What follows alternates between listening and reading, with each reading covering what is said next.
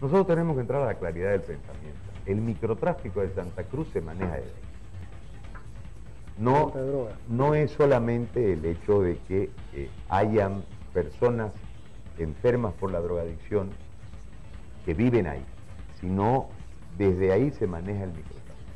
Entonces hay que intervenir esa zona, pero hay que intervenirla con un plan, lamentándolo mucho. Le han intervenido 50 mil veces, pero lo recoge, lo lleva, le dan bien. Es un tema mediático más que una intervención, es un golpe mediático. Cuando eh, la, ola delincuencial crece un poco en relación a los lugares ahí cercanos, hay una operación que es mediática pero que no es de fondo. Nosotros ahí planteamos desde esa misma lógica que de, los niños de la calle, una asociación para recuperar los que quieran recuperarse, por supuesto, pero principalmente arrancarle a la política de antidroga del país, que hasta ahora es desconocida, porque hay que ir a atacar ese microtráfico. Nosotros necesitamos ahí generar una... Hay dos o tres instituciones que intervienen con ayuda permanentemente allí, que son de mujeres particularmente.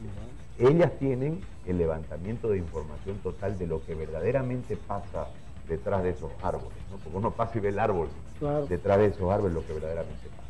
Y el problema grave de esa situación está marcado en lo que te estoy diciendo, que desde ahí no solamente es el tema de la, de la gente eh, enferma por la drogadicción, sino también desde, que de ahí se maneja el, microtráfico. Entonces hay que generar una política contra el narcotráfico para entrar e intervenir y reubicar a la gente enferma de droga para que pueda ser reinsertada. La, lógica siempre es eh, marcar un nuevo paradigma dentro de esto. Es decir, el, drogadicto es un enfermo y hay que tratarlo como enfermo para recuperarlo. Lamentablemente esa enfermedad lo lleva a la delincuencia por la dependencia de la droga. Tenemos que hacer conciencia general que la droga es mala. La droga, la droga es un cáncer y nosotros debemos combatirla como sociedad. Eh, otro tema, el tráfico vehicular de Santa Cruz es demasiado caótico y a raíz del tráfico caótico también se genera la inseguridad. Ay, el tráfico. Este, Sin contar lo, que ya se viene el BDT, digamos. solamente le estoy hablando del tráfico vehicular en, el centro de la ciudad.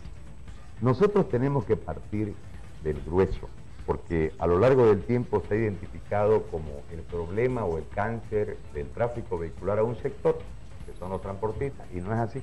son parte del problema. El problema es más grande. Nosotros también somos parte del problema, porque manejamos como nos da la gana. nadie respeta las normas. Entonces debemos entrar a una concientización desde la educación y para eso son los medios masivos de comunicación. Es decir, hay que intervenir en el cambio de hábitos o de malos hábitos al momento de conducir. Eso en primer lugar. En segundo lugar, tenemos que ver el tema del reordenamiento, porque hay una sobrecarga. Cuando hubo el conflicto de los micreros y se crearon en paralelo otros servicios de transporte público, ¿te acordás cuando hubo el conflicto que pararon la ciudad? Correcto. En ese momento se sobrecargó la vía. A esto sumale que la mala decisión política y totalmente fuera de lugar del BRT generó más caos porque le quitaron una vía a la gente para que circule, le dieron una vía exclusiva a los micros que todavía no están y en ese sentido se hizo más caos.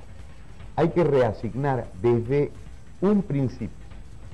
Vos tenés los choferes, que tenés que darle condiciones laborales y tenés que crearles un seguro. Eso está dentro de nuestro plan. Tenés que hablar con la gente de las líneas, los dueños de los micros, porque también ellos tienen ahí una parte, y tenés que pensar todo esto, ordenarlo para que el ciudadano sea el que se beneficie. ¿Qué es lo que nosotros planteamos? El reordenamiento con nuevas rutas, pero sin quitarle rutas, para, para no sobrecargar. Obligar a la gente desde el transbordo para que pueda caminar por un tema de precautelar a la salud, entendiendo que los niveles de obesidad y de diabetes en nuestro medio han aumentado producto del sedentarismo. Esa es una parte del plan. La otra está en que la mayoría de los micros, como 9.000 son, están pagando sus, impuestos municipales fuera del municipio de Santa Cruz.